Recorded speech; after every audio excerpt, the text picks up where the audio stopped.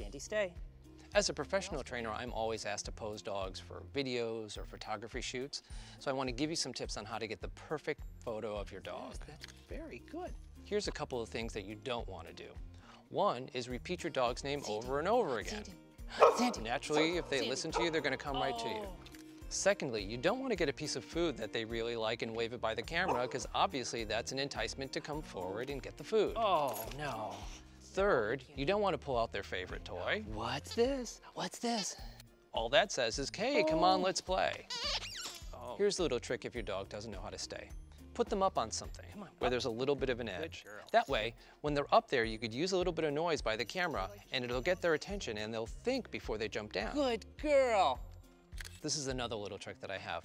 I'll just pick up a bag and open it up and they'll start looking at me as if, what are you doing? So any action behind the camera in which you're reaching into a bag or you're pretending to eat perks their interest to the point where they're interested, but they're not gonna jump off and run to the camera.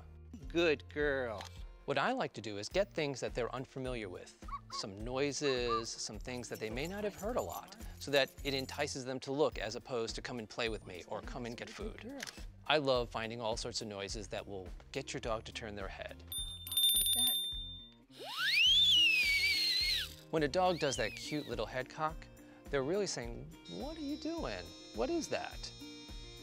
To get that perfect picture, go through your house and find things that'll make your dog look, but not leap,